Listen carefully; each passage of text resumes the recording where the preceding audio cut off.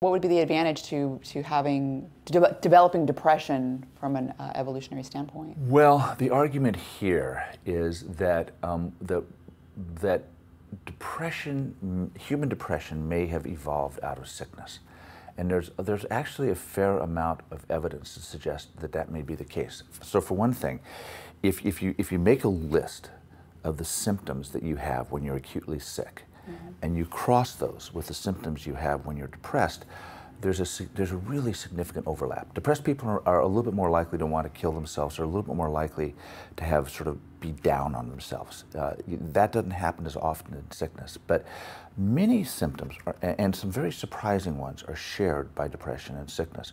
Uh, the, the example I often give is hyperthermia, right? So, you know, when you're really sick, when inflammation is activated, one of the things it does is induce a fever, right? Mm-hmm we've known for many years that if you take medically healthy depressed people, they have chronic elevations in their body temperature.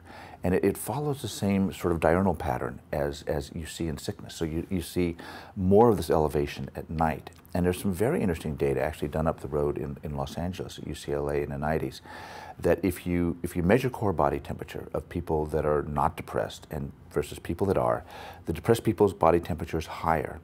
Then if you treat them, and in this case they used electroconvulsive therapy, which is you know, very, very rapidly acting, powerful treatment. Um, you treat the depressed people, you measure their body temperature again, bang, it goes right down to the level of control people. And we've, so we've known for a long time that, that, that depression is a hyperthermic state.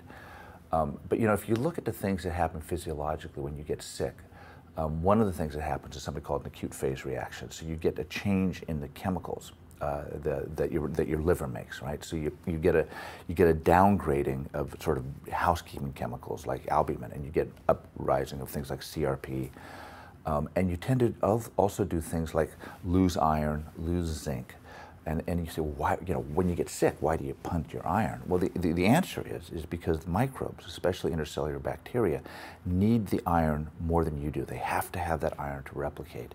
You can live for a while without iron, but they can't. And there's all sorts of data showing mm. that, for instance, iron supplementation kills you if you're infected. Or kids that are given iron in high pathogen third world areas are much more likely to die of infection. So, you know, what happens with evolution is you get this suite of reactions that, although sometimes costly to the person or to the person's body, are generally more costly to the bacteria. So the reason that we get sick when inflammation gets activated is not just because nature wants to torture us.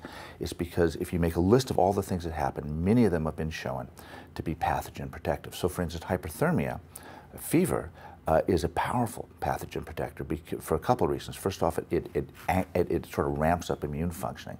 But, but most microorganisms are not built to last. They're built cheap. That's why they, that's why they can actually mutate so quickly. It's, it's a, so they tend to unwind at higher temperatures.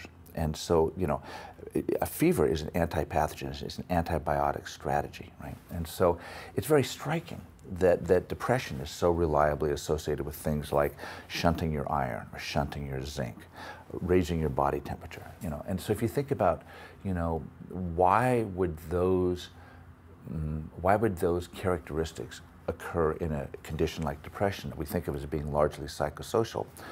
Uh, you know, if your girlfriend dumps you and you get depressed, it, it, might make sense why you weep and cry and, you know, maybe you, you, you sit down and it makes you reevaluate your life.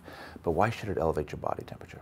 Why should it cause your iron stores to be reduced? It, on the other hand, you know, if depression evolved out of sickness as a strategy for pathogen defense, um, all those things make a lot of sense, right?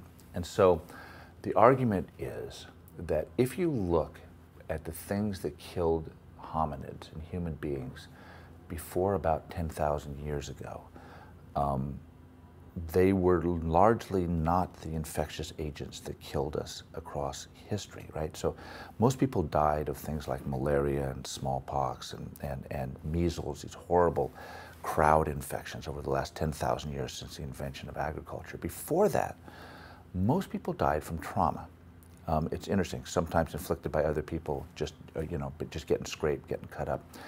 The things that kill you from trauma are much more likely to be uh, extracellular bacterial things. Those are the types of organisms that are especially likely to be wiped out by the kind of sickness reactions that get activated both in depression and sickness. So we and others have made the argument that, that this is the way to think about it, that until modern times, um, stress was a reliable indicator that you were at significantly increased risk of wounding. And wounding is going to kill you because you're going to get infection. So stress becomes linked with a prepotent inflammatory activation so that your immune systems kind of run to their guard stations. It's like smoke alarm principle, you know. Stress means you're at increased risk of dying from a wounding based infection. So stress becomes reliably associated with inflammation, right? Mm-hmm. Inflammation induces sickness. But sickness and depression share a lot in common. So over time what happens is that that, that anything that signals a need for increased inflammation activates this suite of behaviors that in humans over time also sort of evolves into depression.